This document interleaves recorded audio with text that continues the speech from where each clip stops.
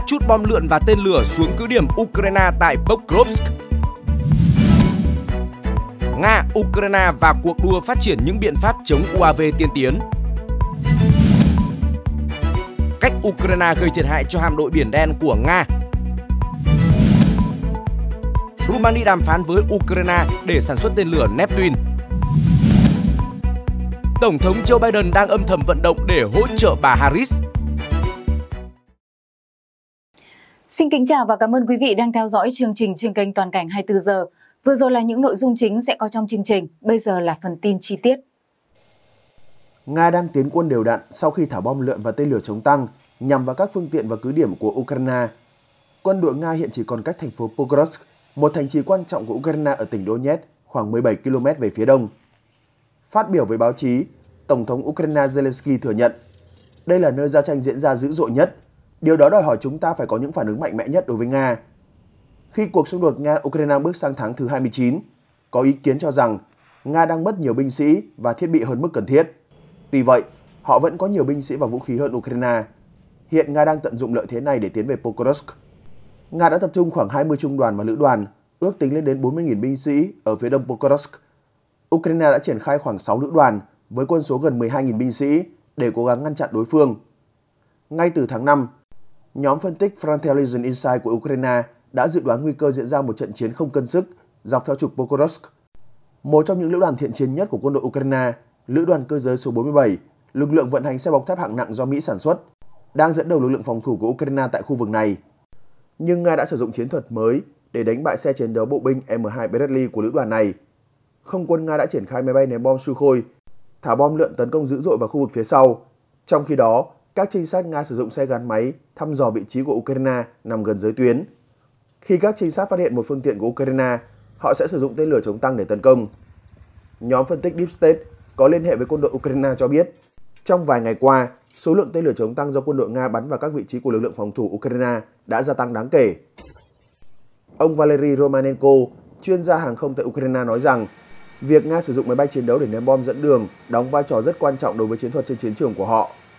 Các chỉ huy Ukraine rất lo lắng trước các đợt tấn công của Nga trong khi Nga tiếp tục đổ thêm binh sĩ và vũ khí về phía Pokrovsk. Vẫn chưa rõ điều gì sẽ xảy ra tiếp theo. Tia hy vọng đối với Ukraine là địa hình đô thị sẽ dễ phòng thủ hơn. Nhưng khi Nga càng tiến đến gần Pokrovsk, họ càng khó duy trì được bước tiến của mình. Báo cáo về tình hình mặt trận, Tổng tư lệnh các lực lượng vũ trang Ukraine Oleksandr Sitsky cho biết, mỗi lữ đoàn, mỗi đơn vị trong khu vực Pokrovsk vẫn kiên định ở đó và bảo vệ các vị trí bất chấp các cuộc tấn công của Nga. Đồng thời chúng tôi cũng không giảm sự tập trung tại các khu vực khác trên tiền tuyến ở Donetsk, trong đó có Kharkov và khu vực phía Nam. Trung tâm Chiến lược Quốc phòng Ukraine đánh giá rằng tốc độ tiến quân của Nga về phía Pokrovsk đang chậm lại do gần các khu vực đô thị, nhưng điều này chưa đủ để sốc lại tinh thần của các binh sĩ Ukraine đã chiến đấu trong thời gian dài để ngăn chặn Nga chiếm Pokrovsk và đang phải chứng kiến đối phương ngày càng tiến gần đến thành phố. Pokrovsk không phải là một thành phố lớn nhưng đóng vai trò là tuyến đường tiếp tế chính cho các tiền đồn khác của Ukraine có một nhà ga đường sắt lớn nằm ở đây. Thành phố này là trung tâm hậu cần quan trọng, dễ dàng tiếp cận với Konstantinovka, một trung tâm quân sự khác. Giới phân tích quân sự cho rằng Nga đang khai thác tốt hơn các vết dạn trong phòng tuyến của Ukraine. Bên cạnh đó, quân đội Nga có thể đã tạo ra một cấu trúc chỉ huy linh hoạt hơn vì họ đã phản ứng nhanh hơn khi nắm bắt được điểm yếu của Ukraine và triển khai quân với tốc độ nhanh chóng. Các chuyên gia quốc phòng lưu ý, những bước tiến của Nga cho đến nay vẫn chưa chuyển thành những đột phá lớn nhưng có thể đe dọa phá vỡ vành đai phòng thủ của Ukraine tại Pokrovsk. Thiếu lực lượng hải quân truyền thống, Ukraine dường như phải chịu thiệt hại trong lĩnh vực hàng hải khi xung đột Nga-Ukraine nổ ra. Tuy nhiên, thông qua một loạt công nghệ hải quân tiên tiến và các chiến lược độc đáo, Ukraine đã có thể duy trì các đòn tấn công không ngơi ngớt nhằm vào tàu chiến Nga. Bộ Quốc phòng Anh đưa ra đánh giá quy mô của hạm đội biển đen Nga không thể sánh được với những cải tiến hàng hải của Ukraine. Bộ Quốc phòng Anh lưu ý rằng ba phát minh hàng hải đã đóng vai trò đặc biệt quan trọng trong sự thành công của Ukraine khi chống lại hạm đội biển đen của Nga. Đó là xuồng cảm tử Magura V5, tên lửa diệt hạm Neptune và xuồng cảm tử Sea Baby. Đầu tiên, xuồng cảm tử Magura V5, đây là tàu mặt nước không người lái đa nhiệm, có chiều dài 5,5m, chiều rộng 1,5m, được trang bị động cơ 300 mã lực xuồng không người lái này có thể di chuyển với tốc độ hành trình 40 km/h. Tốc độ tối đa đạt 78 km/h, tầm hoạt động lên đến 800 km. USV có khả năng mang hơn 300 kg thuốc nổ, đủ để tạo ra các vụ nổ mạnh, có thể tấn công các tàu nổi và các căn cứ quân sự quy mô lớn của đối phương. Magura V5 được cho là đã tham gia rất nhiều sự kiện quan trọng trong cuộc xung đột Nga-Ukraine. Tình báo Ukraine cho hay xuồng cảm tử Magura V5 từng được triển khai để tấn công các tàu hộ vệ Ivanovets, tàu tuần tra Sergei Kotov và tàu đổ bộ Seja Kunikov của Nga. Thứ hai là tên lửa diệt hạm Neptune. Đây là tên lửa hành trình cận âm được phát triển tại thủ đô Kiev của Ukraine. Trọng lượng của tên lửa là 870 kg, khối lượng đầu đạn mang theo là 150 kg. Tên lửa có phạm vi hoạt động khoảng 300 km, tốc độ khoảng 900 km một giờ. R-360 Neptune có hệ thống dẫn đường quán tính với radar chủ động dẫn đường ở giai đoạn cuối của chuyến bay. Độ cao bay trên mặt nước thay đổi từ 3 đến 10 mét. Tên lửa có thể tấn công các tàu có lượng giãn nước lên tới 5.000 tấn cũng như tàu khu trục nhỏ. Tên lửa Neptune từng đánh chìm xoáy hạm Moscow của hạm đội Biển Đen Nga và một phiên bản sửa đổi của tên lửa này cũng đã được sử dụng để hạ gục các hệ thống phòng không của Nga, trong đó có hệ thống S-400 tại Crimea. Thứ ba là Sea Baby, đây là một phương tiện mặt nước không người lái nội địa khác của Ukraine. Báo cáo hồi tháng 5 của cơ quan an ninh Ukraine SBU tiết lộ bản cập nhật mới nhất của xuồng cảm tử Sea Baby. Theo đó, Sea Baby không chỉ là xuồng cảm tử không người lái mà còn là một nền tảng đa chức năng không ngừng cải tiến. Trước đó, quan chức Ukraine cho biết nước này đang cải tiến nhiều dòng xuồng cảm tử không người lái, trong đó bao gồm Sea Baby. Theo báo cáo, có 3 sửa đổi chính được thực hiện trên nguyên mẫu Sea Baby. Thứ nhất, Ukraine đã tăng kích thước và trọng lượng của đầu đạn gắn trên CBB lên đến 860 kg. Thứ hai là cải tiến về khả năng di chuyển trên biển của USV, giúp chúng băng qua các con sóng cao 1,5 mét. Và cải tiến thứ ba là tầm hoạt động của xuồng tấn công đã được tăng lên đáng kể. Theo đó, USV có thể di chuyển với quãng đường lên đến 1.000 km. Ukraine cho hay xuồng cảm tử CBB đã tham gia nhiều cuộc tấn công lớn nhằm vào các tàu chiến của Nga trong đó có tàu tuần tra Pavel Dejavin hồi tháng 10 năm 2023 và tàu đổ bộ Olenegorsky Goniak hồi tháng 8 năm 2023. Sea Baby cũng đã gây ra thiệt hại cho cây cầu Kerch nối bán đảo Crimea và đất liền Nga hồi năm ngoái. Dù vậy, bất chấp những thành công trên của Ukraine, một số chuyên gia cho rằng Nga vẫn có một số lợi thế trên mặt trận hải quân. Ông Sebastian Bruns, nhà nghiên cứu cấp cao tại Trung tâm Chiến lược và An ninh Hàng hải thuộc Đại học Kiel của Đức nói rằng mặc dù các hoạt động của Ukraine tại khu vực Biển Đen đã tỏ ra đủ mạnh để đánh chìm hoặc vô hiệu hóa hơn phân nửa các đơn vị có giá trị cao của hạm đội Biển Đen, nhưng Nga vẫn chiếm thế thượng phong và nắm giữ các cảng và tuyến đường vận chuyển. Chuyên gia Bruns nhận định Ukraine sẽ không thể thắng trong lĩnh vực hàng hải mà thậm chí có thể sẽ thua ở đó. Trong cuộc xung đột Nga-Ukraine, máy bay không người lái thương mại nhỏ và các UAV tự chế đóng vai trò quan trọng, cho phép các bên tấn công hiệu quả xe tăng vào vị trí của nhau. Máy bay không người lái thương mại nhỏ mang theo đạn dược cải tiến và đạn dược chuyên dụng đã được chứng minh là yếu tố quan trọng trong cuộc xung đột hiện đại giữa Nga và Ukraine. Ngay từ những ngày đầu xung đột, Ukraine đã sử dụng các phương tiện không người lái UAS để tấn công xe tăng vào các vị trí tiền phương của Nga. Về phần mình, Nga đáp trả bằng cách triển khai những phương tiện không người lái có sẵn tấn công căn cứ và khí tài quân sự của Ukraine. Ngoài việc sử dụng UAS, các bên cũng nỗ lực phát triển công nghệ chống phương tiện không người lái, trong đó có việc ngụy trang hoặc dựng giáp lồng bảo vệ xe tăng và các phương tiện khác, thậm chí trang bị súng ngắn cho binh sĩ. Bên cạnh đó, Nga và Ukraine cũng triển khai công nghệ gây nhiễu để phá vỡ tuyến liên lạc trên một khu vực rộng lớn, áp dụng sóng vô tuyến định hướng nhằm cắt nguồn cung cấp dữ liệu video của các đơn vị vận hành phương tiện không người lái của đối phương. Hiện giờ, tác chiến điện tử EVK đang định hình lại chiến trường một cuộc chạy đua vũ trang đang diễn ra khi Nga và Ukraine cố gắng chống lại phương tiện không người lái của đối phương bằng các biện pháp gây nhiễu và mã hóa. Ngoài ra, cả hai bên cũng đang nỗ lực tìm ra cách thức đối phó công nghệ chống USV mới. Phương tiện truyền thông của Nga đưa tin, các chuyên gia tại trung tâm đào tạo Sky Warriors đã phát triển một nền tảng tác chiến điện tử di động mới có thể can thiệp vào hệ thống điều khiển từ xa của máy bay không người lái góc nhìn thứ nhất FPV trên nhiều tần số. Một số báo cáo cho biết, máy bay không người lái của Ukraine đã bị vô hiệu hóa và rơi cách thiết bị gây nhiễu từ 300 đến 400 mét. Sản phẩm của Sky Warrior có nhiều cấu hình, trong đó có một thiết bị cố định cho xe cơ giới và một bộ dụng cụ sách tay cho binh sĩ nặng khoảng 15 kg và có dây đeo. Thiết bị gây nhiễu do Sky Warrior phát triển được cho là có 3 chế độ hoạt động, bao gồm kích hoạt thủ công, để có thể đẩy lùi máy bay không người lái đang đến gần, tự động kích hoạt nếu máy bay không người lái bay vào phạm vi hoạt động của nó hoặc hoạt động liên tục. Tuy nhiên, vẫn chưa rõ liệu các thiết bị gây nhiễu có ảnh hưởng đến máy bay không người lái của Nga hay các phương tiện liên lạc khác hay không. Ukraine cũng triển khai các thiết bị gây nhiễu có khả năng chặn khoảng 75% tần số mà máy bay không người lái của Nga đang sử dụng để liên lạc với đơn vị vận hành. Tuy nhiên, thách thức lớn nhất vẫn là chống lại các loại máy bay không người lái cảm tử lợi hại mà Nga sử dụng. Bên cạnh đó, lực lượng đặc nhiệm của Ukraine cũng bắt đầu sử dụng UAV công nghệ mới, có thể bay vào tấn công mục tiêu mà không cần GPS. Trong suốt 2 năm qua, Ukraine đã phát triển một loạt phương tiện bay không người lái trên không, trên biển và trên đất liền để đối phó với Nga. Tuy vậy, Ukraine cũng phải thừa nhận rằng khả năng gây nhiễu của Nga đang gây áp lực lên nguồn cung cấp phương tiện không người lái ít ỏi của Ukraine. Quân đội Ukraine cho biết, việc phát triển phương tiện bay không người lái và biện pháp chống lại phương tiện này là một cuộc chạy đua không ngừng nghỉ. Bà Bay, trung sĩ phụ trách một trung đội máy bay không người lái ở mặt trận phía đông Ukraine nói rằng, chúng tôi đang cải thiện công nghệ của mình để chống lại phương tiện không người lái mới của Nga trên chiến trường. Sau một thời gian, Nga sẽ phát triển biện pháp đối phó mới để tự vệ trước các cuộc tấn công của chúng tôi.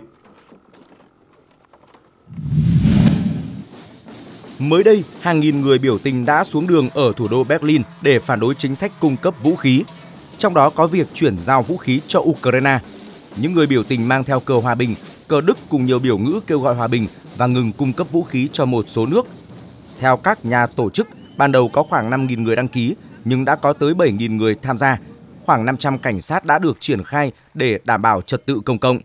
Nhiều người mang theo cờ xanh với hình chim bồ câu trắng tượng trưng cho hòa bình – trong khi những người khác cầm biểu ngữ và áp phích có nội dung không có tên lửa của Mỹ trên đất của chúng tôi, không có tên lửa chống lại Nga, không có lô hàng vũ khí nào cho Ukraine và Israel hoặc đàm phán hòa bình.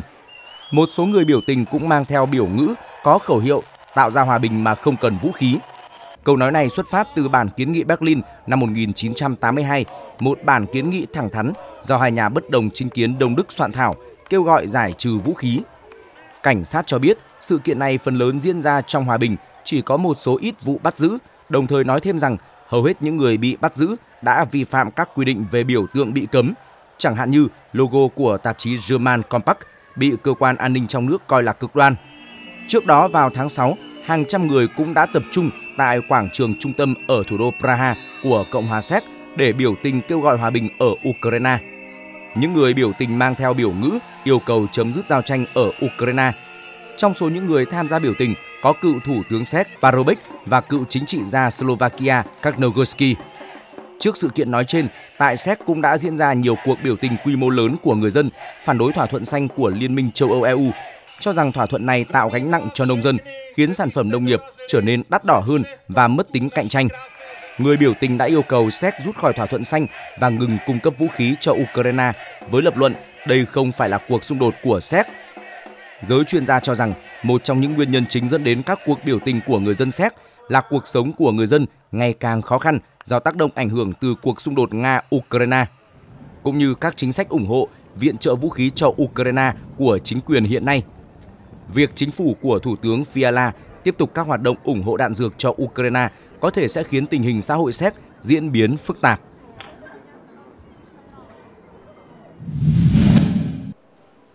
Tên lửa diệt hạm Neptune là tên lửa hành trình tầm xa, tốc độ cận âm do Cục Thiết kế Luch của Ukraine phát triển với đường kính 420mm.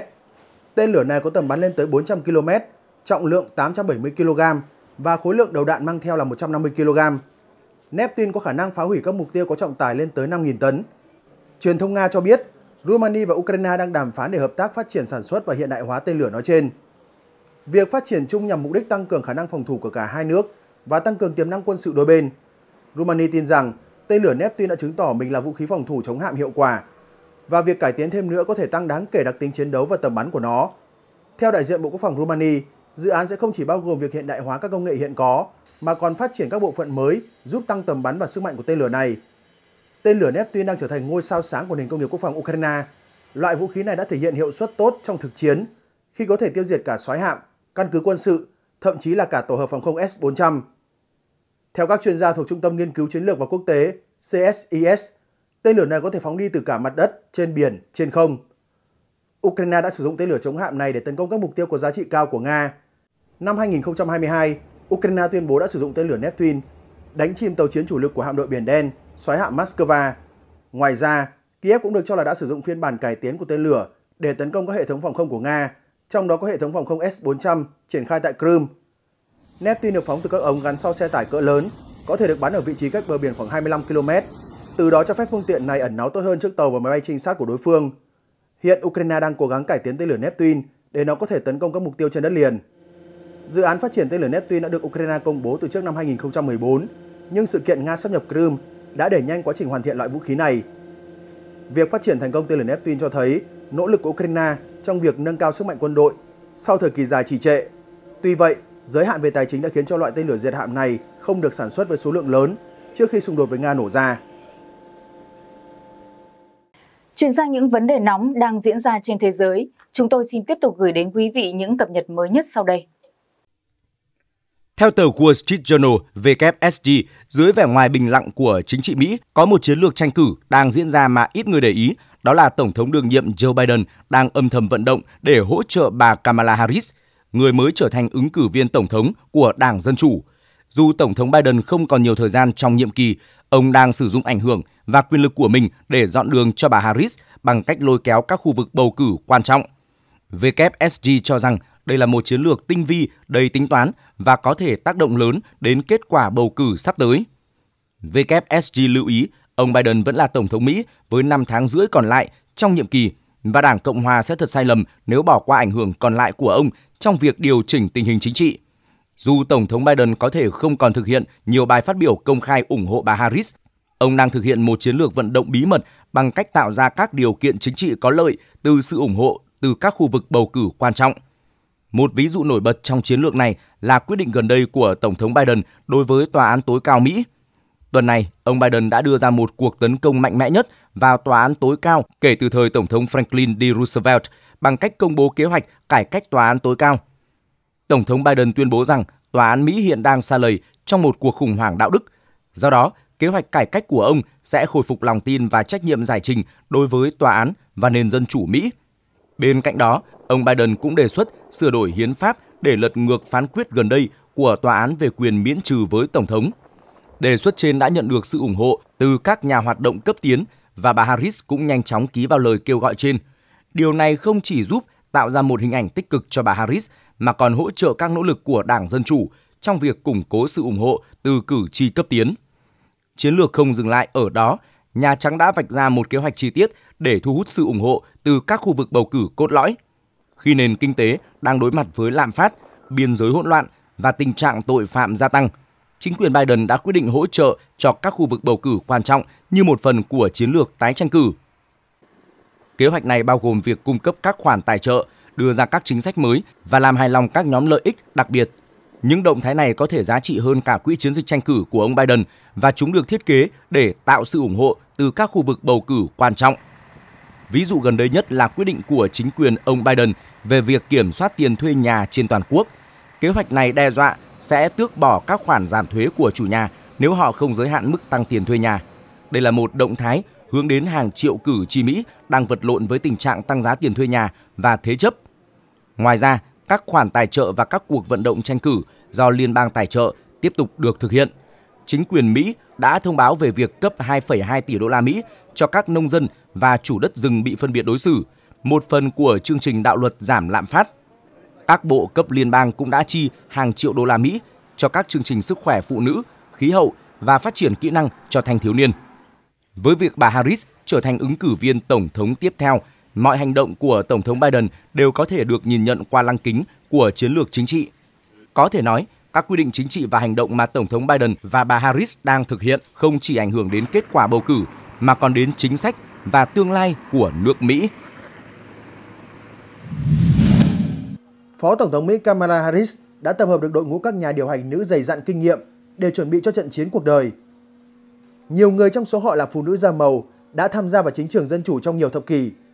Họ sẽ tính toán đường đi nước bước cho Phó Tổng thống khi bà chuẩn bị cho chiến dịch tranh cử kéo dài 3 tháng trước cuộc bầu cử chính thức ngày 5 tháng 11. Reuters dẫn 4 nguồn thạo tin khẳng định, ekip hiện tại vô cùng trung thành với Phó Tổng thống Harris. Nhiều người đã hỗ trợ bà kể từ khi mới đến Washington gia nhập Thượng viện năm 2017. Nguồn tin cho biết, ekip thân cận của bà Harris bao gồm các cố vấn và đồng minh như bà Minion Moore, Chủ tịch Ủy ban Đại hội Toàn quốc Đảng Dân Chủ. bà Lea Dottray, đồng chủ tịch ban quy tắc đại hội, bà Donna Brazil, thành viên Ủy ban Quốc gia Đảng Dân Chủ DNC và bà Tina Flournoy, cựu tránh văn phòng Phó Tổng thống Harris. Có thể thấy ekip của bà Harris dày dặn kinh nghiệm vì nhiều người đã từng phục vụ dưới thời cựu Tổng thống Bill Clinton từ năm 1993 đến năm 2001. Trước đó, bà Harris cũng đã nhận được một tin vui lớn từ Đảng Dân Chủ và cả sự đồng hành mới từ một số chiến lược gia hàng đầu của ông Barack Obama. Ông David Plouffe, người quản lý chiến dịch tranh cử của cựu Tổng thống Mỹ Barack Obama năm 2008 và cũng là trợ lý cấp cao trong chiến thắng tái đắc cử của ông năm 2012, đã trở thành cố vấn cấp cao trong chiến dịch tranh cử của Phó Tổng thống Mỹ Kamala Harris. Thông tin này được tiết lộ bởi một nguồn tin của Reuters. Nguồn tin này cũng cho hay, ông Plouffe sẽ là một trong ba cố vấn cấp cao mới tham gia chiến lược tranh cử của bà Harris, vốn đã nhận được sự đồng hành của nhiều chiến tướng, đứng sau thành công của cựu Tổng thống Mỹ Barack Obama. Trước đó, chiến dịch của bà Harris đã nhận được sự đồng hành của bà Stephanie Carter, một chiến binh truyền thông của Đảng Dân Chủ. Bà Carter từng là giám đốc truyền thông Nhà Trắng và phó giám đốc chiến dịch của ông Obama. Chiến lược gia Đảng Dân Chủ Anthony Coley nhận định, ekip của bà Harris đã được kiểm chứng trong thực tế và sẽ rất hữu dụng với vị phó tổng thống 59 tuổi trong 99 ngày tới. Ngoài ra còn có những người phụ nữ khác có nhiều năm kinh nghiệm làm việc tại Nhà Trắng và vận động tranh cử, nắm giữ các vai trò tổ chức quan trọng trong chiến dịch của bà Harris. Họ bao gồm bà Lauren Vones, bà Erin Wilson, bà Selenis, bà Kristen Allen và bà Rohini Kosoglu. Bà Lauren Vones giữ chức tránh văn phòng Phó Tổng thống Mỹ từ tháng 5 năm 2022. Chuyên gia truyền thông kỳ cựu này vẫn ở lại sát cánh cùng bà Harris, dù văn phòng Phó Tổng thống từng trải qua sự biến động lớn về nhân sự với sự ra đi của các thành viên trong nhóm truyền thông, an ninh quốc gia và các nhóm khác. Bà Vons cũng từng làm phó thư ký báo chí của ông Bill Clinton, sau đó là giám đốc truyền thông cho Phó Tổng thống Al Gore và cho Thượng nghị sĩ Hillary Clinton. Lời khuyên của những nhân vật như bà Moore, Dottray, Brazil và Flournoy mang đến cho bà Harris nhiều năm kinh nghiệm từ Nhà Trắng và DNC.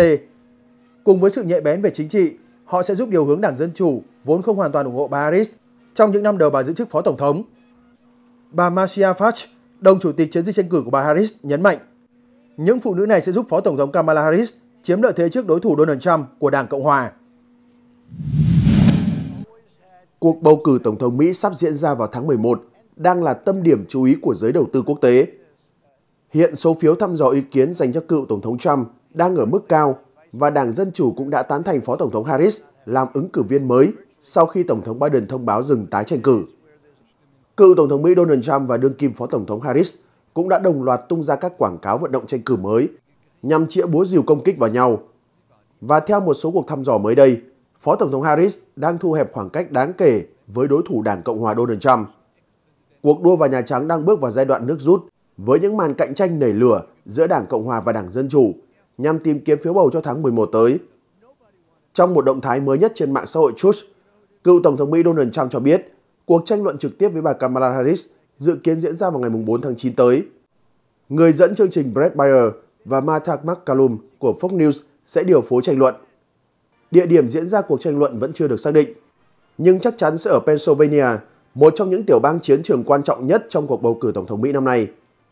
Cựu Tổng thống kế đó nêu luôn luật chơi là cuộc tranh luận sẽ có khán giả trực tiếp, khác với cuộc tranh luận trước đó giữa Tổng thống Biden và ông Trump được đài CNN tổ chức. Ông cũng nói thêm rằng các quy tắc tranh luận sẽ tương tự như của CNN, song không nêu rõ những quy tắc nào. Đáp lại, bà Harris tuyên bố rằng sẽ chỉ tham gia cuộc tranh luận theo thống nhất ban đầu, tức vào ngày 10 tháng 9 do ABC News tổ chức. Bà Harris viết trên X, trước đây là Twitter, Tôi sẽ ở đài ABC News vào ngày tranh luận mùng 10 tháng 9 như ông Trump ban đầu đã thống nhất. Hy vọng sẽ gặp được ông ấy tại đó. Trong khi đó, ông Michael Tyler, giám đốc truyền thông chiến dịch tranh cử của bà Harris, nói rằng ông Trump đang sợ hãi, chạy trốn khi đề xuất đổi ngày tranh luận. Ông Tyler nói, ông Trump đang chạy trốn trong sợ hãi, cố gắng rút lui khỏi cuộc tranh luận mà ông ấy đã đồng ý và chạy thẳng đến Fox News để được giải cứu. Ông ấy nên ngừng chiêu trò và xuất hiện trong cuộc tranh luận ngày 10 tháng 9 như đã nhất trí. Ở thời điểm hiện tại, bà Harris dường như có sức hấp dẫn hơn đối với các cử tri da màu và cử tri trẻ tuổi so với Tổng thống Joe Biden trước khi ông rời khỏi cuộc đua tái cử. Đây có thể là một lợi thế cho bà trong cuộc đối đầu với cựu Tổng thống Mỹ Donald Trump. Cuộc thăm dò mới nhất của CNN SSRS cho thấy bà Harris dẫn trước ông Trump trong số các cử tri da màu với tỷ lệ 78% so với 15%. Xu hướng tương tự cũng diễn ra trong số các cử tri Mỹ gốc Tây Ban Nha. Thực tế này cho thấy bà Harris tiếp tục khẳng định mình tách biệt với vai trò phó tổng thống trong chính quyền tổng thống Joe Biden. Rất có khả năng bà có thể tạo dựng bản sắc chính trị riêng và thu hút nhiều cử tri da màu và cử tri trẻ tuổi hơn. Những thành công liên tiếp của Phó Tổng thống Kamala Harris trên đường đua tranh cử trong hơn một tuần trở lại đây đã mang lại lợi thế lớn cho Đảng Dân Chủ. Chuyên gia thăm dò ý kiến Tony Fabrizio lại gọi đó là tuần trăng mật của bà Harris, nhưng cũng đồng thời cảnh báo bà nên sẵn sàng cho sự kết thúc của tuần lễ này. Tuy nhiên, có vẻ như tuần trăng mật của Phó Tổng thống đã kéo dài hơn dự kiến. Bà Harris bước vào tháng 8 với 377 triệu đô la Mỹ gây quỹ, đến từ sự ủng hộ lớn của nhiều nhà tài trợ và các đảng viên dân chủ. Con số này cao gấp hơn 2 lần so với chiến dịch tranh cử của ông Trump. Phó Tổng thống cũng nhanh chóng xóa bỏ vị trí dẫn đầu của ông Trump tại 7 tiểu bang chiến trường quan trọng. Cuộc thăm dò mới nhất của Bloomberg News Morning Consult tuần này cho thấy 48% cử tri ủng hộ bà Harris, trong khi chỉ có 47% ủng hộ ông Trump. Đội ngũ vận động tranh cử của bà Harris tiếp tục quy tụ những cái tên nổi tiếng từng góp phần làm nên thành công cho cựu Tổng thống Barack Obama vào năm 2009 và 2012. Các nhân viên chiến dịch cấp cao của ông Obama, bao gồm chiến lược gia David Plouffe và phó giám đốc chiến dịch năm 2012 Stephanie Carter đã gia nhập đội ngũ này. Trước đó bà Harris cũng đã giành đủ số phiếu bầu để trở thành ứng cử viên đại diện Đảng Dân Chủ tranh cử Tổng thống và sẽ chính thức chấp nhận đề cử vào đầu tuần tới. Các cố vấn chiến dịch nhận định rằng thời điểm ghi tên trên tấm vé tranh cử và lịch trình di chuyển dày đặc sẽ giúp chiến dịch của bà tiếp tục sôi động cho đến kỳ tổng tuyển cử tháng 11. Bà Harris dự định sẽ công bố phó tướng tranh cử của mình trong vài ngày tới và liên danh tranh cử mới sẽ bắt đầu một chuyến tham quan các tiểu bang giao động, bao gồm Philadelphia, Wisconsin, Bắc Carolina, Georgia và Nevada. Sau chuyến thăm các tiểu bang giao động, bà Harris được cho là sẽ nhận được sự ủng hộ từ những người theo đảng Dân Chủ khác tại đại hội của họ vào cuối tháng 8. Tổng thống Mỹ Joe Biden dự kiến sẽ có bài phát biểu khai mạc đại hội vào hôm 19 tháng 8 ở Chicago. Ông Ivan Japian, cựu quan chức Ủy ban Quốc gia Dân Chủ DNC nhận định rằng việc tham gia tranh cử khi đường đua đã bước vào giai đoạn nước rút là một lợi thế đối với bà Harris. Điều này đồng nghĩa với việc chiến dịch của bà Harris không cần phải kéo căng để duy trì sức nóng trong một thời gian dài, khác với chiến dịch của ông Trump. Sau khi ông Biden tuyên bố rút lui khỏi cuộc đua vào Nhà Trắng, ông Trump đã úp mở về khả năng sẽ không tham gia cuộc tranh luận tổng thống. Cựu dân biểu Cedric Richmond, đồng chủ tịch của tổ chức Harris for President, mới đây đã lên tiếng kêu gọi ông Trump cần phải trở nên mạnh mẽ như nữ đối thủ của mình. Ông Richmond đặt câu hỏi, ông Donald Trump cần phải mạnh mẽ hơn nữa. Ông Trump không ngại nói sau lưng bà Harris, nhưng lại sợ hãi phải tranh luận trực tiếp với bà ấy hay sao? Trong khi đó, Giám đốc truyền thông của Đại hội Toàn quốc Đảng Dân Chủ DNC, bà Rosemary Brooklyn cho biết, bất kể ông Trump ở đâu vào ngày 10 tháng 9, cử tri đều biết ông ấy đứng ở đâu. Phó Tổng thống Harris sẽ có mặt trên sân khấu tranh luận để vạch ra tương lai mới cho nước Mỹ, trao cho cử tri quyền từ chối ông Trump một lần và mãi mãi.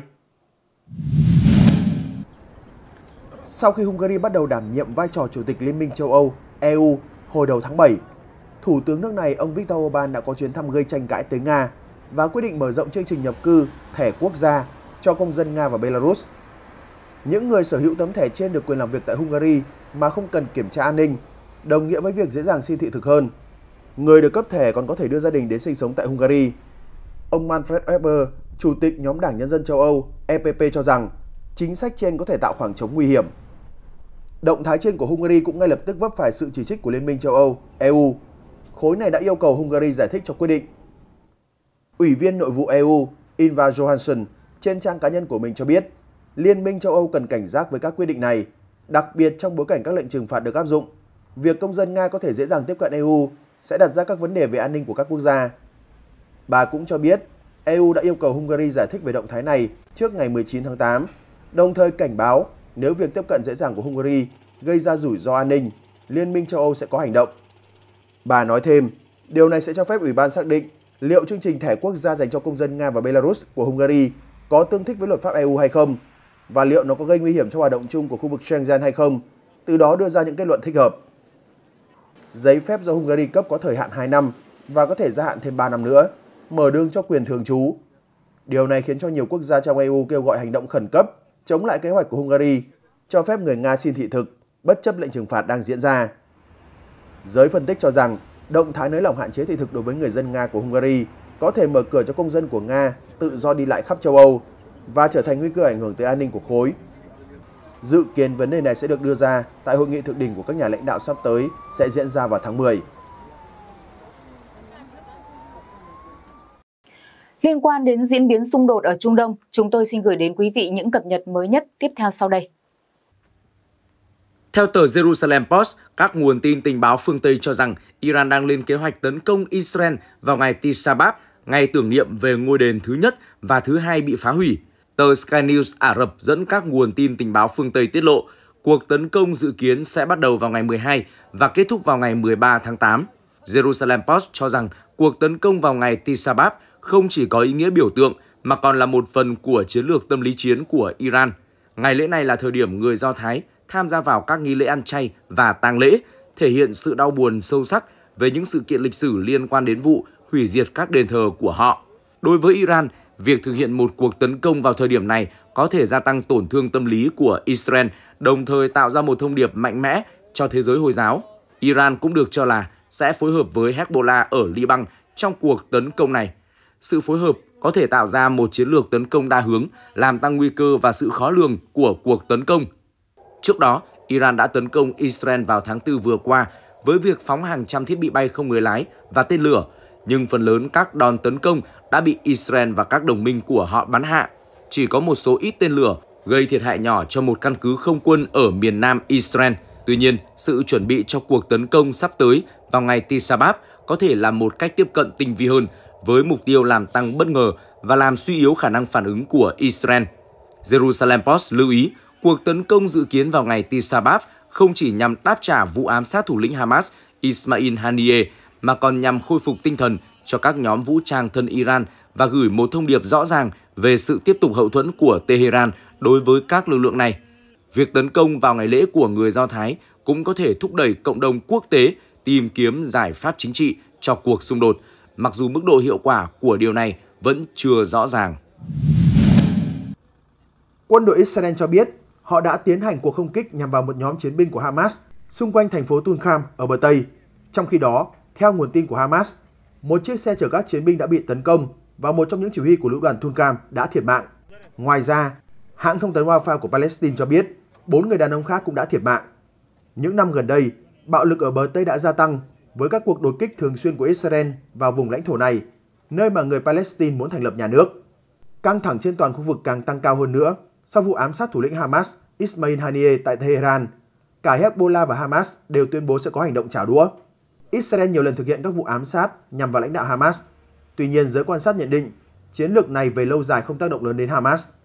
Cơ quan tình báo Israel đã nhiều lần truy vết và tiêu diệt các thủ lĩnh của nhóm vũ trang Hồi giáo Hamas nhiều nơi trên khắp Trung Đông kể từ khi lực lượng này thành lập vào năm 1987. Theo lẽ thường, việc tiêu diệt các chỉ huy cao cấp sẽ làm nhóm Hồi giáo này ngày càng suy yếu. Tuy nhiên, những nỗ lực của Israel từ trước đến nay dường như không để lại tổn thất quá to lớn đối với Hamas.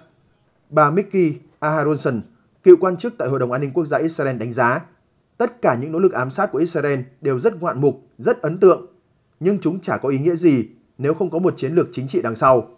Trong cuộc họp báo nhân 300 ngày xảy ra xung đột, Giám đốc Văn phòng điều phối các vấn đề nhân đạo của Liên Hợp Quốc tại các vùng lãnh thổ Palestine, ông Andrea De Domenico hôm qua đã bày tỏ quan ngại về tình hình nhân đạo ở giải Gaza và bờ Tây.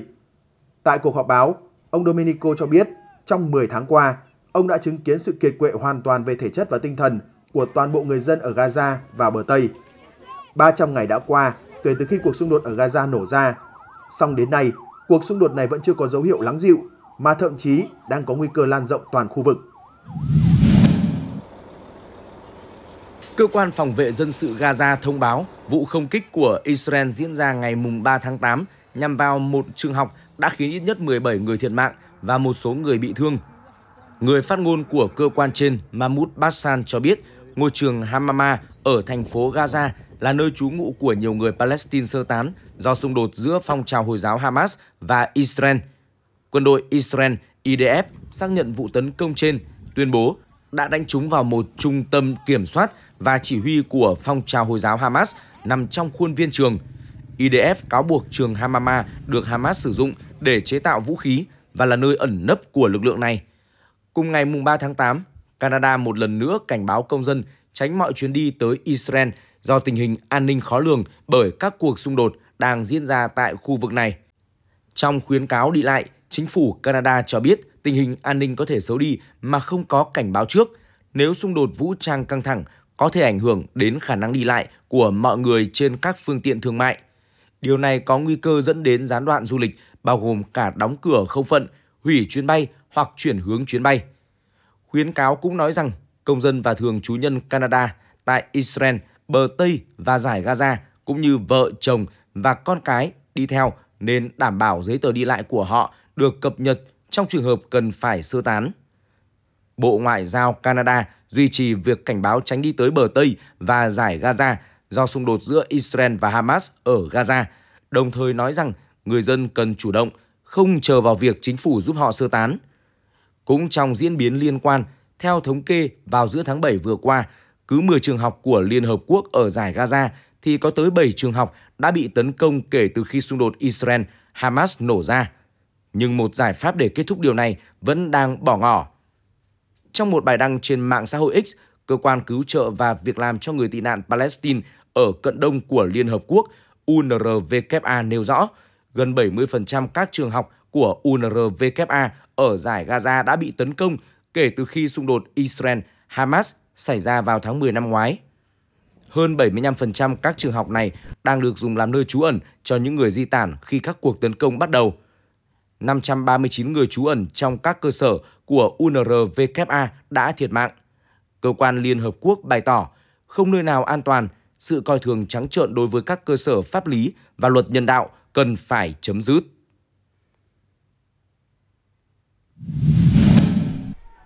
Theo tờ Jerusalem Post, Thủ tướng Israel Benjamin Netanyahu đã dự định sa thải Bộ trưởng Quốc phòng Yoav Gallant sau khi ông Gallant trở về từ chuyến thăm Mỹ. Tuy nhiên, kế hoạch này đã bị trì hoãn do tình hình an ninh ngày càng căng thẳng ở Israel cùng các vụ ám sát ở Beirut, Liban và Tehran, Iran. Quyết định trì hoãn này được đưa ra do sự cảnh giác cao độ và sự chuẩn bị cần thiết đối với các phản ứng tiềm tàng từ Hezbollah và Iran trước các vụ ám sát. Thủ tướng Netanyahu đã tuyên bố rằng quyết định đã được đưa ra, vấn đề không phải là có hay không mà là khi nào. Tờ Thời báo Israel cũng dẫn nguồn tin trong nhóm cố vấn của Thủ tướng Netanyahu cho biết, sau khi thay thế Bộ trưởng Galan, ông Netanyahu cũng có kế hoạch sa thải Tổng tham mưu trưởng lực lượng phòng vệ Israel IDF Herzi Halevi và người đứng đầu cơ quan an ninh nước này Sinbet Ronenba để ngăn chặn sự phản đối đối với cách ông Netanyahu xử lý các cuộc đàm phán con tin. Trước đó, một cuộc họp an ninh cấp cao tại Israel đã diễn ra trong bối cảnh căng thẳng gia tăng sau các cuộc tấn công nhằm vào chỉ huy Hezbollah ở Liban và lãnh đạo chính trị của Hamas ở Tehran.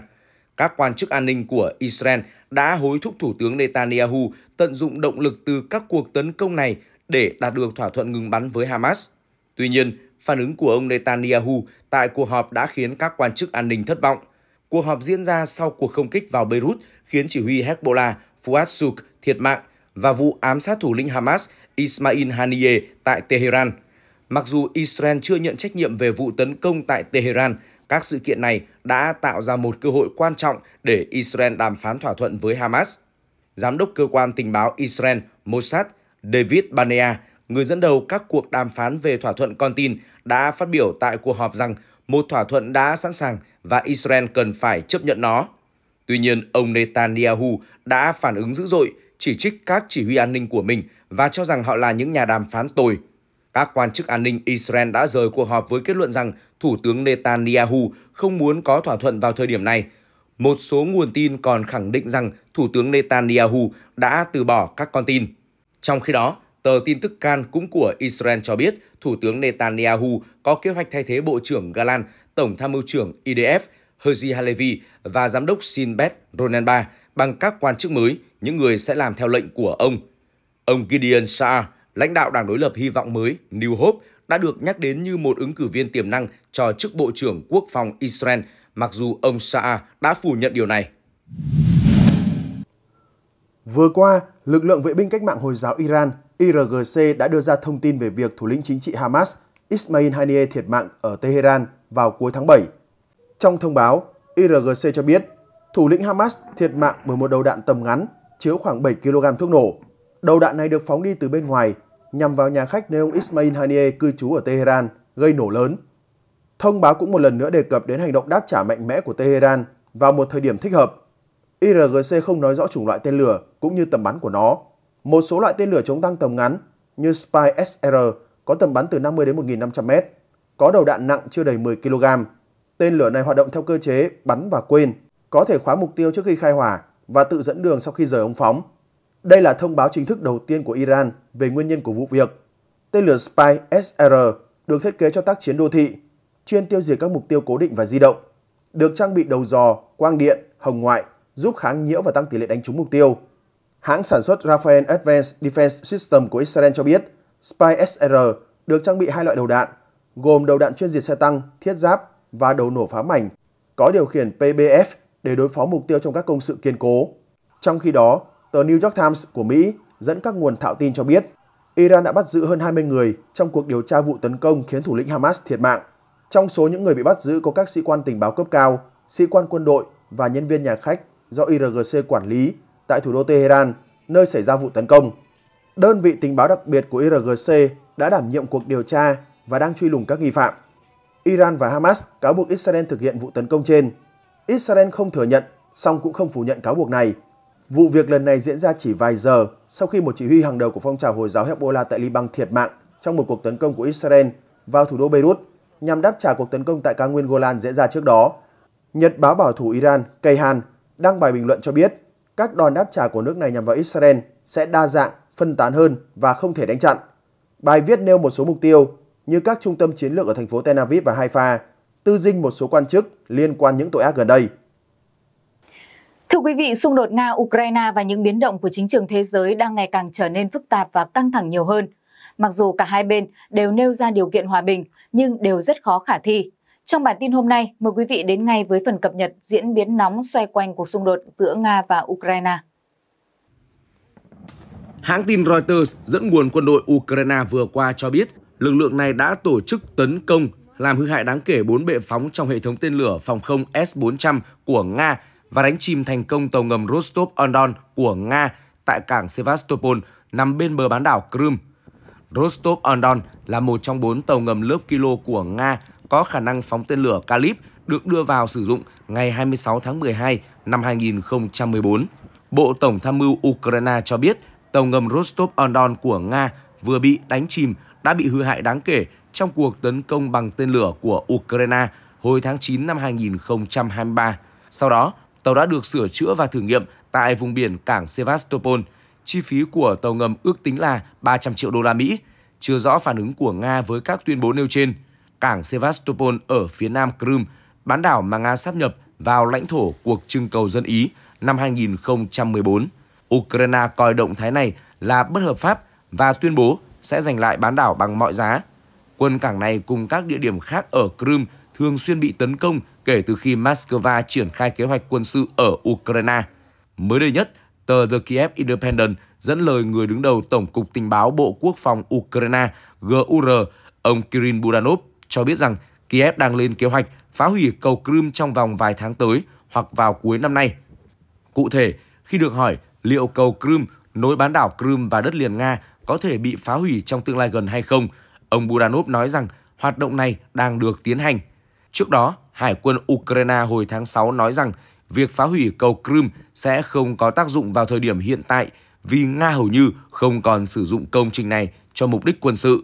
Trong khi đó, ông Vasil Maliuk, người đứng đầu cơ quan an ninh Ukraine SBU, không loại trừ khả năng Nga có thể cố gắng sử dụng lại công trình này để tiếp tế vũ khí sau khi cầu được khôi phục hoàn toàn. Quân đội Ukraine dự đoán Nga có thể tiếp tục tăng cường các hoạt động quân sự ở Kharkov và nỗ lực giành quyền kiểm soát khu vực này. Người phát ngôn Vitaly Saransev cho biết trên sóng truyền hình quốc gia rằng tình hình xung đột tại khu vực Kharkov diễn biến phức tạp, căng thẳng và có dấu hiệu gia tăng. Nga đã phát động một cuộc tấn công mới ở phía bắc vùng Kharkov vào tháng 5, nhưng phương tiện truyền thông địa phương đưa tin rằng cuộc tấn công đã mất đà và có dấu hiệu ngừng trệ. Tuy nhiên, theo ông Saransev, lực lượng Nga đang tiến hành luân chuyển quân nội bộ và tăng cường sự hiện diện ở các khu vực biên giới, chuẩn bị cho một đợt tấn công mới. Ông Saransev cho biết thêm, tình hình hiện tại khá khó khăn do Nga vẫn đang cố gắng đánh bật quân Ukraine ra khỏi vị trí phòng thủ, đồng thời dự đoán mục tiêu tiếp theo của quân đội Moscow là khu định cư Hliboke. Trước đó, nhóm tác chiến chiến thuật Kharkov của Ukraine thông báo trên Telegram rằng Nga đã điều động thêm quân lực từ Lữ đoàn Bộ binh Thủy quân lục chiến độc lập số 155 thuộc hạm đội Thái Bình Dương và sư đoàn súng trường cơ giới số 18 thuộc quân đoàn số 11 đến Heliboke. Báo cáo mới nhất của nhóm này cũng cho thấy Nga đang cố gắng giành quyền kiểm soát thị trấn Vovchansk của thành phố này cũng như các khu định cư khác thuộc Kharkov. Trước đó, Nga đã tiến hành hai cuộc tấn công bằng tên lửa vào Kharkov, đánh trúng một công ty vận tải ở quận Slobitsky. Bên cạnh Kharkov, Pokrovsk cũng chứng kiến sự tăng cường hiện diện của các lực lượng Moscow.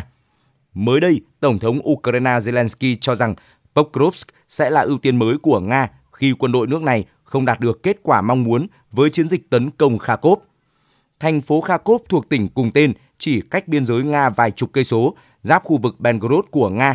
Đó là mục tiêu có ý nghĩa biểu tượng và lý tưởng về mặt quân sự, bởi quân đội Nga sẽ không cần chiếm quá nhiều đất để đặt thành phố lớn thứ hai của Ukraine trong tầm bắn của đạn pháo. Các nhà phân tích quân sự tin rằng cuộc tấn công vào Kharkov có thể là một phần trong chiến lược của Nga. Không nhất thiết là mở một tuyến tấn công mới vào Kharkov, Nga dường như đang muốn biến đây thành thỏi nam châm hút lực lượng Ukraine khỏi các chiến trường khác, nơi quân Ukraine vốn đã kiệt sức. Xung đột gần Kharkov được dự báo sẽ còn khốc liệt hơn nữa khi Nga tấn công quyết liệt hơn để tạo sức ép buộc Ukraine phải rút quân chỗ khác về giải vây.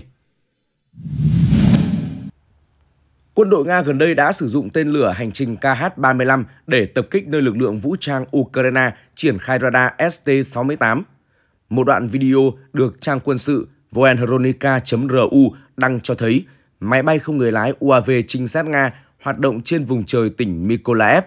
Ukraine đã phát hiện vị trí quân đội đối phương đặt hệ thống radar phòng không ST-68. Chiếc UAV sau đó tiếp tục nhiệm vụ chỉ điểm tọa độ để quân đội Nga sử dụng tên lửa hành trình KH-35 tấn công khí tài Ukraine. Quân đội Ukraine tới nay chưa bình luận về những hình ảnh được truyền thông Nga công bố. KH-35 là tên lửa hành trình chống hạm cân âm có khả năng tấn công mặt đất của Nga. Phiên bản mới nhất của tên lửa được trang bị hệ thống dẫn đường quán tính hỗ trợ GLONASS cùng với đầu tự dẫn radar chủ động. KH-35 có tầm bắn lên tới 260 km và có thể bay thấp tới 4 mét so với mặt nước để tránh bị phát hiện.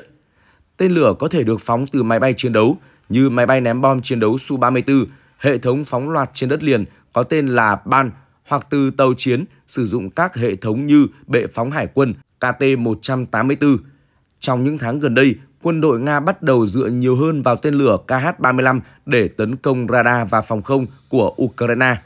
Độ chính xác cao, tầm xa và khả năng tàng hình của tên lửa cũng như khả năng phóng từ trên không, trên bộ hoặc trên biển khiến nó trở nên hoàn hảo để chế áp các hoạt động phòng không của đối phương. Trong khi đó, theo trang radartutorial.eu, ST-68U lá chắn thiếc. Tin siêu, tên định danh được Tổ chức Hiệp ước Bắc Đại Tây Dương NATO đặt cho là hệ thống radar phòng không được Liên Xô sản xuất và đưa vào trang bị trong quân đội vào đầu thập niên 1980. Đây là một radar hoạt động ở băng tần S với giải tần từ 2.850 đến 3.200 MHz, có thể làm việc độc lập với nhiệm vụ giám sát không phận, phát hiện máy bay bạn thù, friend offer và phát hiện những mục tiêu đối phương có diện tích phản xạ radar RCS nhỏ bay ở độ cao thấp hoặc rất thấp. Theo trang quân sự Defense Block, ST-68U có thể nhận diện và theo dõi tiêm kích, máy bay trực thăng hoặc các UAV chiến đấu của đối phương ở khoảng cách lên tới 150 km.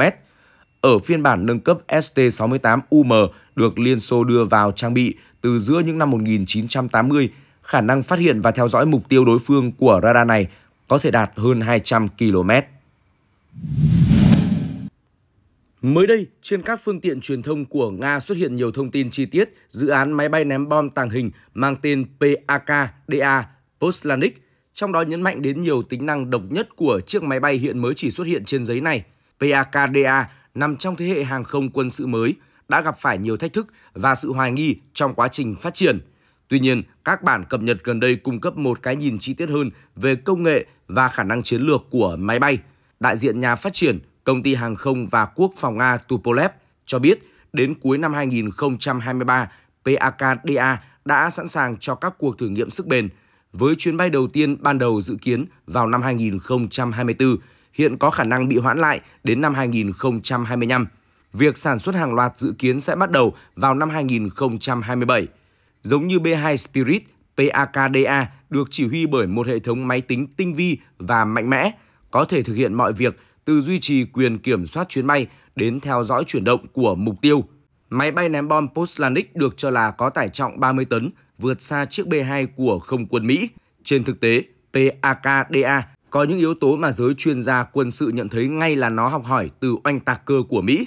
Về thông tin kỹ thuật, PAKDA có trọng lượng cất cánh tối đa là 145 tấn, vận tốc hành trình là 800 km một giờ và trần bay lên tới 20.000 m. PAKDA có tầm bay dự kiến là 12.000 km, có thể mang theo các loại vũ khí thông thường, vũ khí hạt nhân chiến thuật cũng như tên lửa siêu thanh.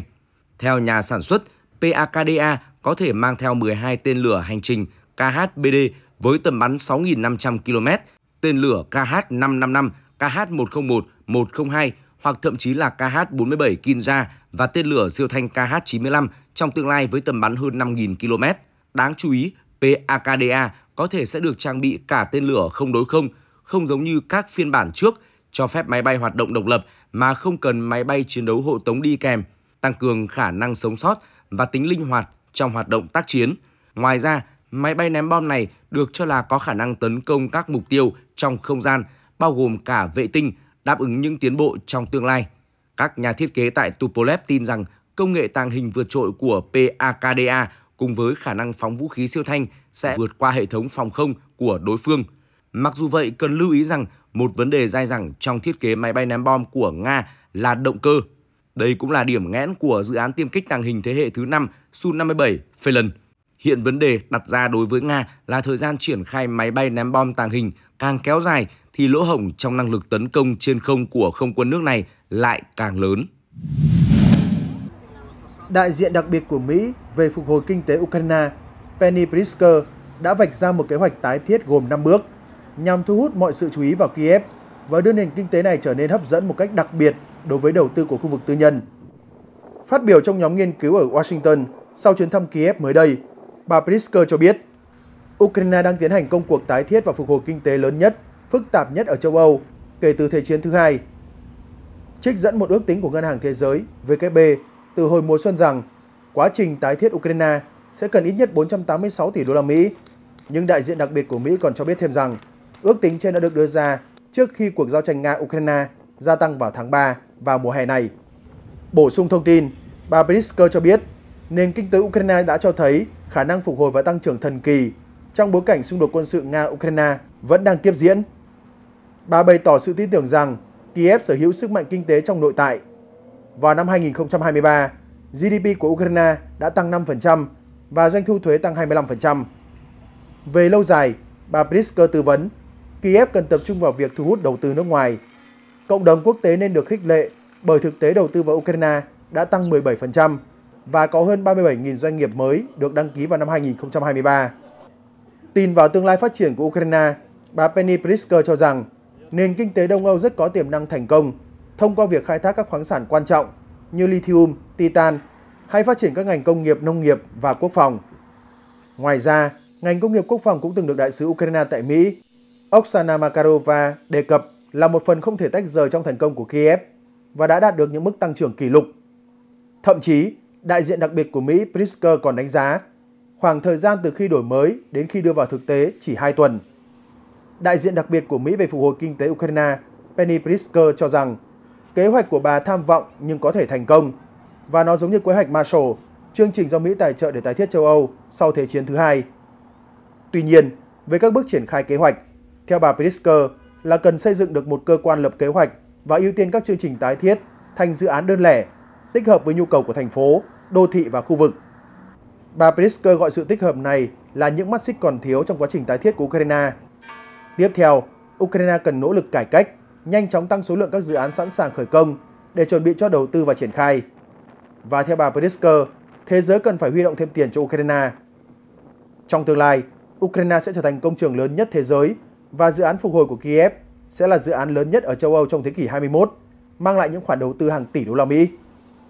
Trước đó, tại hội nghị các nhà tài trợ tái thiết Ukraine tại Đức vào tháng 6 năm 2024, Thủ tướng Đức Olaf Scholz cũng đã kêu gọi các công ty tư nhân đầu tư cho các dự án tái thiết khổng lồ của Kiev.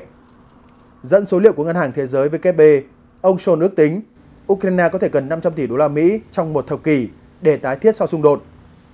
Nhà lãnh đạo Đức khẳng định các công ty sẽ nhìn thấy cơ hội kinh doanh để đầu tư và thảo luận về tiềm năng của Ukraine trong các lĩnh vực bao gồm năng lượng tái tạo, công nghệ thông tin và dược phẩm. Tuy nhiên, trên thực tế, tái thiết nền kinh tế Ukraine là một hành trình dài và gian truân bởi nó đòi hỏi nguồn tài chính khổng lồ trong bối cảnh xung đột quân sự vẫn tiếp diễn. Giao tranh vẫn chưa có hồi kết, trong khi những khoản viện trợ dành cho Ukraine sẽ như muối bỏ bể. Các nước phương Tây dạn nứt trong cách phản ứng với cuộc xung đột, sự bấp bênh của nền kinh tế toàn cầu và hàng loạt cuộc khủng hoảng đan xen khiến bản thân các nền kinh tế phát triển cũng đối mặt thách thức, dẫn đến sự ngần ngại mở hầu bao cho đại dự án của Ukraine. Cuộc trao đổi 24 tù nhân mang tính lịch sử giữa Nga và các quốc gia phương Tây đặt ra câu hỏi về những tác động có thể xảy ra đối với xung đột Ukraine. Kênh CNN của Mỹ đưa tin máy bay chở các tù nhân trao đổi với Nga đã hạ cánh tại Đức, Mỹ, Ba Lan và Na Uy, Slovenia. Trong khi đó, RIA Novosti của Nga đưa tin máy bay chở theo các công dân nước này đã từ Ankara, Thổ Nhĩ Kỳ hạ cánh tại Moscow. Tổng thống Thổ Nhĩ Kỳ Recep Tayyip Erdogan cho biết Tổ chức Tình báo Quốc gia Thổ Nhĩ Kỳ MIT đã thiết lập các kênh đối thoại cho cuộc trao đổi tù nhân lịch sử này. Đây được coi là một trong những cuộc trao đổi tù nhân Đông Tây lớn nhất kể từ chiến tranh lạnh. Nhà phân tích Lucas Albin tại Viện Chiến lược và các vấn đề quốc tế Pháp Iris nhận định thỏa thuận trao đổi tù nhân này cho thấy Washington và Moscow vẫn giữ một kênh liên lạc mở, tương tự thời chiến tranh lạnh. Tổng thống Vladimir Putin vào tháng 12 năm ngoái cho biết ông muốn Moscow và Washington đạt được giải pháp để đảm bảo trả tự do cho phóng viên Gershkovich của Wall Street Journal, nhưng các cuộc đàm phán đó không hề đơn giản. Phóng viên Mỹ Gershkovich bị giam giữ ở Nga từ tháng 3 năm 2023 và bị kết án vào tháng 7 cùng năm về tội gián điệp. Bà Liana Fix thuộc Hội đồng quan hệ đối ngoại CFR nhận định rằng cuộc trao đổi tù binh là nỗ lực của Nga để chứng minh rằng quốc gia khác có thể thực hiện thỏa thuận với Moscow một cách thiện trí, đặc biệt là trước cuộc bầu cử Mỹ. Tuy nhiên, bà cho rằng nó không liên quan trực tiếp và rõ ràng đến một thỏa thuận hòa bình cho Ukraine. Bà lập luận Mỹ và Đức sẽ đảm bảo rằng những vấn đề này không liên quan đến nhau vì họ tuân thủ nguyên tắc không thể có đàm phán nếu thiếu Ukraine trên bàn đàm phán. Tuy nhiên, bà bổ sung rằng Nga có thể muốn thể hiện thiện trí để tạo điều kiện thuận lợi cho việc tham gia các cuộc đàm phán mà họ sẽ cố gắng tiến hành theo các điều kiện riêng. Trong khi đó, nhà phân tích Albin cho rằng việc trao đổi tù nhân không mở đường cho các cuộc đàm phán hòa bình ở Ukraine. Nhưng theo ông, cuộc trao đổi đã đến vào thời điểm mà Ukraine trong những tuần gần đây mở cửa ngoại giao với Nga. Ông Zelensky tuần này nói rằng cả thế giới muốn Nga tham gia các cuộc đàm phán hòa bình. Vào tháng 7 vừa qua, Bộ Quốc phòng Nhật Bản đã đạt được thỏa thuận về việc chuyển giao tên lửa Patriot PAC-3 cho Mỹ, nước đang thiếu hụt tên lửa đánh chặn do hỗ trợ cho Ukraine. Giới chức Nhật Bản chưa công bố số lượng tên lửa đánh chặn sẽ được xuất sang Mỹ, nhưng tổng giá trị của thỏa thuận được cho là khoảng 19 triệu đô la Mỹ. Việc chuyển giao tên lửa PAC-3 được thực hiện theo nguyên tắc chuyển giao trang thiết bị và khí tài quốc phòng vừa được Nhật Bản sửa đổi bổ sung năm 2023. Trong đó cho phép xuất khẩu vũ khí, khí tài quân sự cùng linh kiện vũ khí, khí tài quân sự được sản xuất trong nước bằng kỹ thuật của nước ngoài cho nước cung cấp công nghệ nguồn. Về hợp đồng này, Bộ trưởng Quốc phòng Nhật Bản Kihara Minoru cho biết, đây là một nội dung quan trọng đối với quan hệ đồng minh Nhật-Mỹ. Nó cũng cho thấy bước tiến cụ thể trong quan hệ song phương. Có thể nói, đây là một việc có ý nghĩa sâu sắc. Tới đây, Bộ Quốc phòng sẽ tiếp tục đẩy mạnh chuyển giao khí tài và thiết bị quân sự hướng tới đảm bảo an ninh quốc gia. Phát biểu tại cuộc họp báo mới đây, Phó phát ngôn Bộ Ngoại giao Nga Andrei Nastasin bày tỏ sự hoài nghi về thỏa thuận nói trên. Ông cho biết các tên lửa này có thể sẽ được chuyển đến Ukraine. Ông Nastasin cảnh báo rằng nếu tên lửa của Nhật được chuyển đến quân đội Ukraine, Moscow sẽ coi đây là hành động thù địch của Tokyo đối với Nga. Ông Nastasin cho biết thêm, Nga có quyền thực hiện các biện pháp đối phó kiên quyết nhất, bao gồm cả biện pháp liên quan đến quan hệ song phương với Nhật Bản. Tuy nhiên, ông không nói rõ Nga có thể sẽ có hành động cụ thể gì. Ở Nhật Bản, tập đoàn công nghệ nặng Mitsubishi sản xuất mỗi năm khoảng 30 tên lửa cho lực lượng phòng không. Hiện lực lượng phòng vệ Nhật Bản sở hữu 3 loại tên lửa Patriot, PAC-2, PAC-3 và PAC-3 MSE tối tân hơn. Phiên bản tối tân của Patriot có giá khoảng 4 triệu đô la Mỹ một quả tên lửa, với tầm bắn căng rộng hơn 50% so với phiên bản thường. Vì thế, với 19 triệu đô la Mỹ cho 10 tên lửa, nhiều khả năng Mỹ mua phiên bản thường của tên lửa Patriot. Ukraine muốn tăng cường phòng không trước các cuộc tấn công bằng máy bay không người lái liên tục của Nga. Vào đêm cuối tháng 7, Nga đã tiến hành tấn công bằng máy bay không người lái vào Ukraine với quy mô được cho là lớn nhất từ trước đến nay, nhắm vào nhiều địa điểm, trong đó có thủ đô Kiev. Thưa quý vị, nội dung vừa rồi đã khép lại chương trình trên kênh Toàn cảnh 24 giờ ngày hôm nay. Cảm ơn quý vị đã quan tâm theo dõi. Xin kính chào và hẹn gặp lại.